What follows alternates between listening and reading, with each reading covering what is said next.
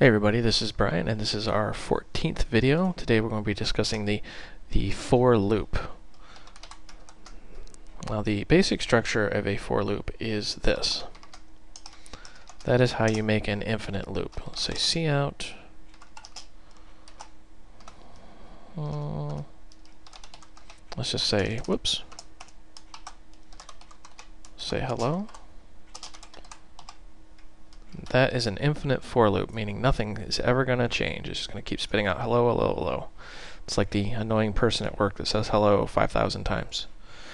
Okay, now let's break this out a little bit. For, and then we got these two semicolons in there. What's going on with that? Well, this is where we say int i equals 0. So that's where we initialize it.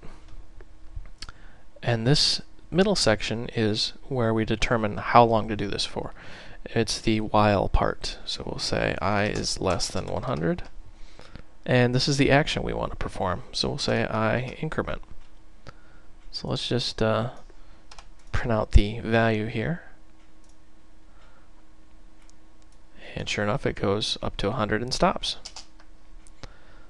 So let's break this down a little bit more. Here's the for statement. Here is the code block it's going to execute. Uh, the first section, let's actually put some spaces in here to make these sections a little clearer. Whoops. The first section, this is our declaration.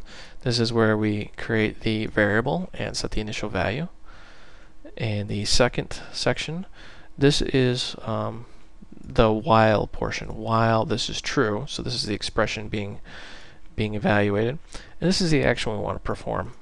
For example, um, we're going to increment.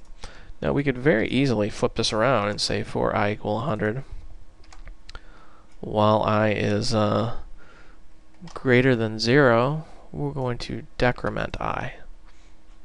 So any guesses what this is going to do? Well, if you thought it was going to count backwards from 100 to 0, you answered correctly. That is the basic for statement.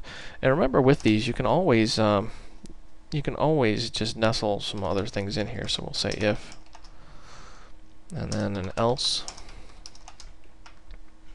And we'll say if i equals 2, then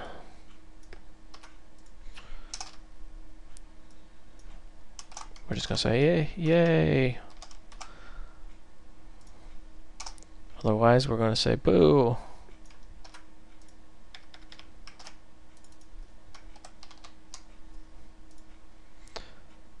And that gives you an idea of how you can really nestle things in there.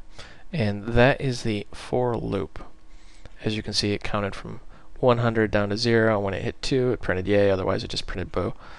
Um, I realize I'm going through these tutorials rather quickly. Um, I have to admit, if C++ is your first programming language, these are probably not the tutorials for you.